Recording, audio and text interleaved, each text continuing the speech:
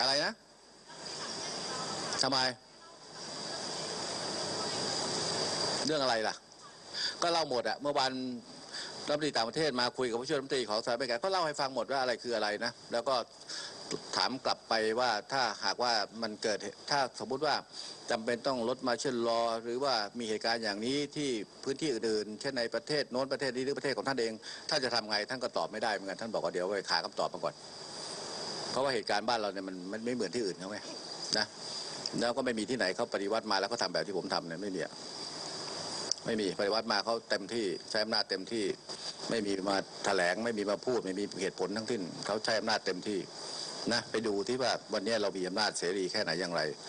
นะบางอย่างก็อยู่ในกรอบบ้าง บางอย่างก็ให้เกียรติกันบ้าง เท่านั้นนะผมรับได้หมดอะก็ไม่มีอะไรนะก็ไม่กังวลอะไรไม่กังวลกังวลเรา ผมอยากจะเรียนอย่างนี้นะ เมื่อวานก็มี 21 ประเทศมั้งที่เป็นเอกอัครทูตถาวรประจำสหประชาชาติมา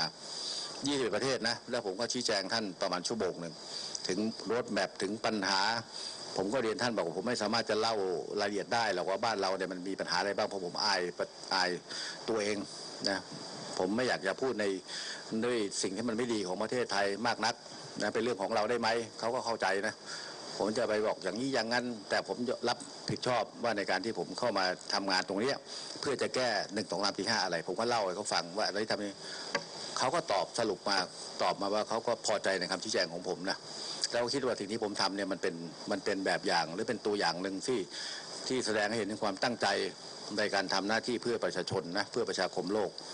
เขาก็ยังเชิญผมไปเลยบอกว่า ถ้าเป็นไปได้เขาอยากให้ผมไม่ไปพูดเรื่องเนี้ยเรื่องเหล่านี้ที่ผมพูดกับเขาเนี่ย ในเดือนกันยายนกับกับสหประชาชาติในที่ประชุมใหญ่นั่นแหละคือ 21 ประเทศเขาพูดมาเมื่อวานเนี่ยนะท่านผู้ช่วยรัฐมนตรีของสหรัฐก็ติดคำตอบไว้กับท่านรองนายกเอ่อท่านศักว่าเดี๋ยวท่านจะใช้อะไรดี ท่านจะมีวิธีการไหนไหมท่านก็ยังตอบไม่ได้เหมือนกัน ว่าถ้าเราไม่มีกฎหมายตัวนี้มันจะทำให้ทุกอย่างมันวุ่นวายหรือไม่ แล้วกฎหมายตัวนี้เราใช้ประโยชน์ตรงไหนบ้าง วันนี้ผมก็ใช้ประโยชน์ไม่ได้เป็นรบกวนใครเลยไม่ใช่เหรอก็ทำให้เพื่อเกิดความสงบเรียบร้อยไง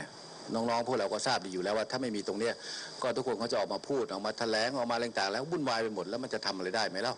นั่นแหละขอแค่เดียวเรื่องเดียวเท่านั้นเองยังให้ผมไม่ได้เลย และที่เราทำไว้ต้องเป็นร้อยๆเรื่องพันๆเรื่องที่ที่ตั้งโจทย์แล้วก็ทำกันมาตลอดแปดเดือนเนี่ย มันก็เสียเปล่าอะนะศูนย์เปล่า เขาก็เข้าใจมากขึ้นนะเขาก็ดีมันมีอยู่ไม่กี่ประเทศหรอกที่เขาเขาเขาใช้คำว่ามันติดตรงนี้ไงมันติดตรงข้อประชาธิปไตยแค่นั้นแหละนะเขาพูดอย่างอื่นไม่ได้ก็เท่านั้นมันก็มีไม่กี่ประเทศหรอก ผมเรียนตั้งหลายครั้งแล้ว และแม้กระทั่งประเทศที่ท่านว่าเขาค้าขายกับเราอยู่หรือเปล่า อ่าแล้วไงแล้วใช่ครับตอบว่าโอเคดีทุกอย่าง ก็เขาพูดคำว่าประชาธิปไตยก็ประชาธิปไตยก็ให้เขาพูดไป ค้าขายก็ขายให้เรา เราก็ต้องค้าขายเพราะคนมันค้าขายกันอยู่ ถ้าเราไม่ขายเขาก็มีอะไรกิน ไม่เข้าใจเขาก็เข้าใจ แต่เขาตอบพูดอย่างอื่นไม่ได้ เธอไม่เข้าใจคำพูดฉันเนี่ยก็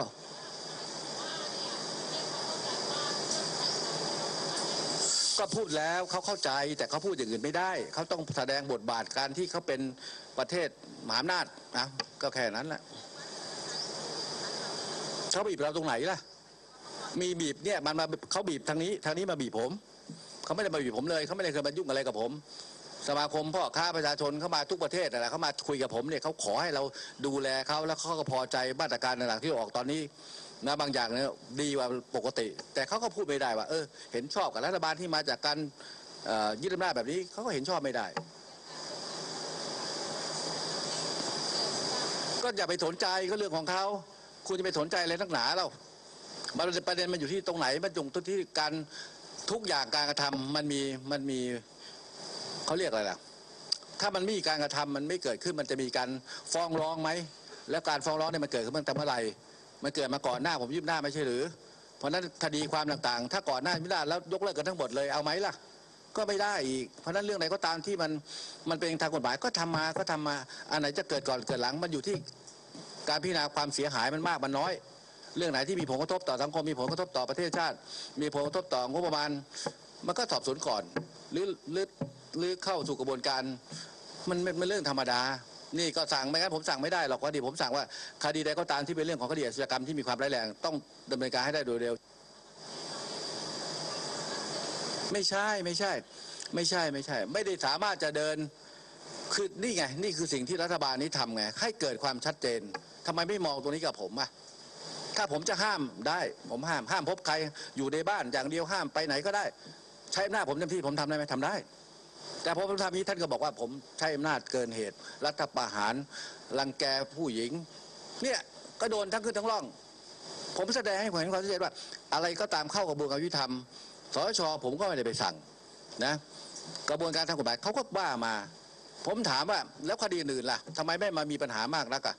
แล้วทำไมคดีนี้มันมีปัญหามากนักมันก็เป็นคดีเหมือนคดีมองถ้าว่าเป็นคดีปกติ คดีที่เป็นการ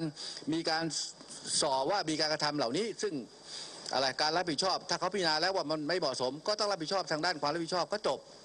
ไอ้เรื่องคดีทางอาญาก็ไปว่ากันทางอาญาก็ถ้าคิดว่าไม่ผิดก็ไปสู้อาญาโน่น มันบิดพิ้วไม่ได้หรอก ถ้ามันไม่ผิดก็คือไม่ผิด ถ้าผิดมันก็คือผิดมันจะมันจะไม่ผิดได้ยังไงอะถ้ามันหลักฐานมันครบ ก็ถ้าก็ไปแก้กับตรงโน้นสิตรงนี้หมายความว่าในเมื่อ ต้องรับผิดชอบ แล้ววันนี้มันคือปัญหาอยู่ ใช่ไหมล่ะ ถึงแม้ว่ามีเจตนาจะดีอะไรก็ตามน่ะแต่มีปัญหาไหมผมถามนี่มีปัญหาไหมไม่มีจำนำข้าวมีปัญหาไหมอะมีก็แล้วทำไมเล่าความรับผิดชอบต้องมีไหมล่ะอะแล้วจะมาถามทำไมอะเนี่ยสิ่งเหล่านี้คือต้องช่วยผมอธิบายเขานะว่าวันนี้รัฐบาลเนี่ยมาโอเคมาจากการยึดอำนาจแต่ผมยึดอำนาจจากอะไรตอบก่อน จากอะไรจ๊ะจากใคร จากใครล่ะจากใคร มีรัฐบาลไหมตอนนั้นน่ะ มีเหมือนไม่มีอะคุณยิ่งรักอยู่ตรงไหน อยู่ตรงไหน ปฏิบัติหน้าที่ไม่ได้ไม่ใช่หรือพระโถนี่ไปกลับทบทวนใหม่ว่ามันเป็นยังไง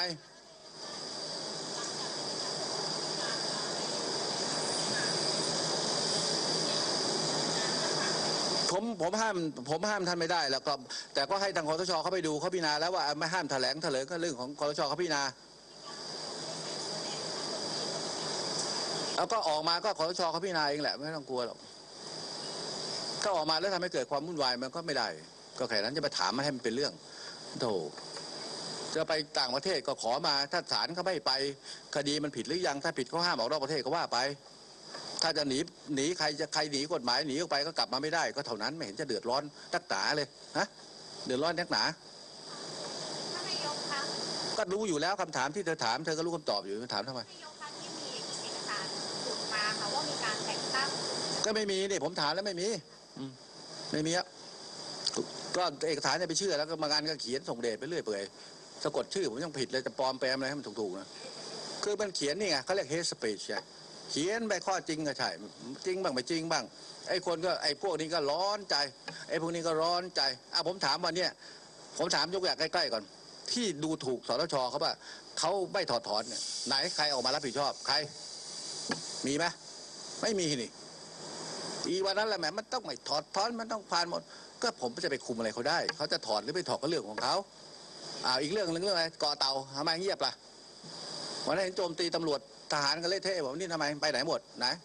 ตอมาดิก็อย่างนี้อะผมถามว่าอะไรที่มันทำให้มันก็โอเค พอสมควร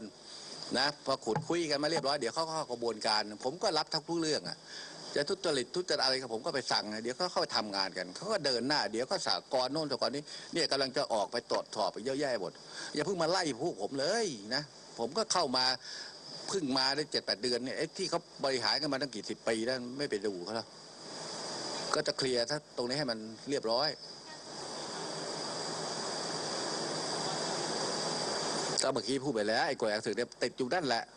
เดือดร้อนอะไรไหนถามที่จะเอากฎอนุมัติพิเศษอะ คนเดียวเนี่ยอะก็โถ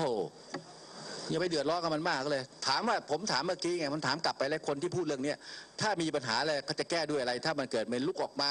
ใช้อาวุธสงครามยิงใส่กันมีประชาชนมาห้อมล้อมตรงนี้เนี่ยทำไมเขาบอกทำไม่ได้ แก้ไขอะไรไม่ได้เหมือนกันเขาจะไปหาทางคิดก่อน ไม่เคยเกิดขึ้นในโลกนะภูมิใจเขาไหมแบบบ้านเราเนี่ยไม่เคยเกิดนะ ประเทศไหนเขาก็ไม่มีนะ ผมบอกก่อนเดี๋ยวจะเอาคนพวกนี้ส่งมาให้เขาไม่เอาทั้งประเทศนะ ไม่ได้อ่านนะอ่านก็เหมือนเดิม ก็ตายหรือยังล่ะเนี่ย ตายหรือยัง ไม่รู้สึกไงเพราะผมไม่ได้ตายนี่ประชาธิปไตยตายยังอะนี่ไงประชาธิปไตยทำเนี่ยนี่ทำประชาธิปไตยเลยเนี่ยกระทรวงทบวงกรมขับเคลื่อนบูรณาการแผนงานโครงการ ผมไม่ได้ไปใช้อำนาจ